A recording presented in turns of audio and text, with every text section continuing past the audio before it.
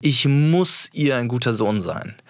Und was immer noch sehr, sehr, sehr gut funktioniert, ist, dass sie noch genau so fühlt. Sie fühlt ganz, ganz eng eine Palliativmedizinerin, mit der ich gesprochen habe, die meinte, das Herz hat keine Demenz. Mhm. Und da ist wirklich sehr, sehr viel dran. Und äh, sie lacht immer noch über gute Jokes, über versaute Jokes.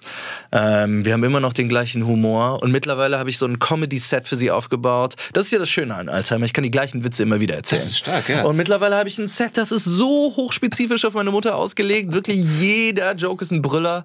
Äh, und das funktioniert immer Weil noch. Weil du weißt, auch weißt, welcher Witz ich zündet weiß und genau, welcher nicht. welcher zündet. Und wenn sie schlechte Laune hat, miteinander lachen, das funktioniert sehr, sehr, sehr gut. Und das funktioniert hoffentlich noch für eine ganze Weile.